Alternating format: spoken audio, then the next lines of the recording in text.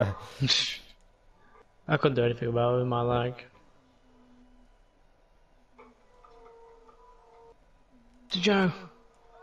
Oh! oh!